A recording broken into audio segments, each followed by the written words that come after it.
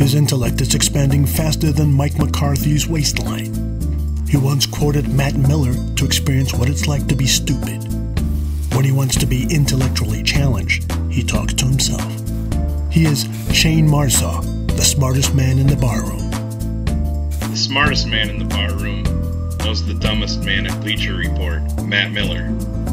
Bear down, my friends.